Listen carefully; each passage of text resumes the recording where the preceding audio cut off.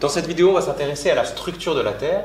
Donc si on a la Terre et qu'on regarde la Terre en coupe, on a ici la Terre en profondeur. Le rayon de la Terre est égal à 6400 km. On voit qu'on a différentes enveloppes à l'intérieur de la Terre. Si on part de ce qui est le plus profond, on a le noyau qui commence à 2900 km jusqu'au centre de la Terre, qui est composé d'un noyau externe et d'un noyau interne. Le noyau est composé essentiellement de fer. Au-dessus, on a essentiellement du manteau, qui est constitué d'un manteau supérieur qui va jusqu'à 670 km et d'un manteau inférieur qui va jusqu'à 2900 km.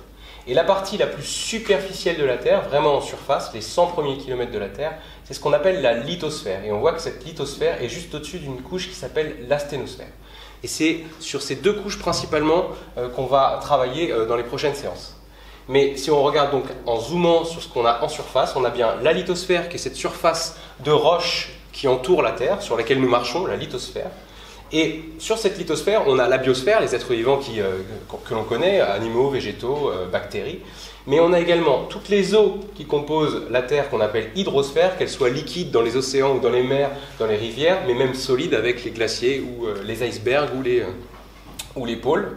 Et on a également l'atmosphère qui concerne les gaz qui entourent la planète, donc l'enveloppe de gaz qui entoure la Terre. Donc en surface, on a l'atmosphère qui est une enveloppe fluide, c'est-à-dire euh, euh, dynamique composée de gaz, l'hydrosphère qui est également une enveloppe fluide composée essentiellement de liquide avec les rivières, les mers, les océans, et la lithosphère qui est cette surface rocheuse.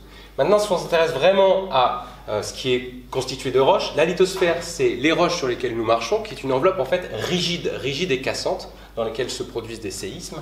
Et sous cette lithosphère, on a une couche qui s'appelle l'asténosphère, qui est également une couche composée de roches, qui est également solide, mais qui est moins rigide que la lithosphère. On pourra dire qu'elle est ductile.